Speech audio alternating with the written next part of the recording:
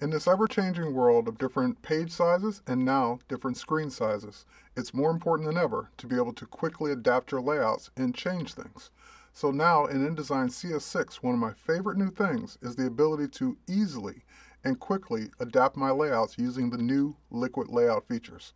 Let's take a look. I have a page open here, and this page, of course, has multiple items on it, just like any other InDesign document. We have graphics, we have photos, we have logos, we have text, well, with the new Liquid Layout features, I'll open the panel here. We have the page tool as we always did, but now on an object by object basis or page by page basis, we can go in and change the rules for how that content will be repurposed. With your alternate layouts by scale, recentering the content, object-based, or guide-based. So just by selecting an object and choosing your rule, from that point on, you'll just be able to select the page and if that page resizes or redraws or changes in orientation, the content will adjust based on your rules accordingly.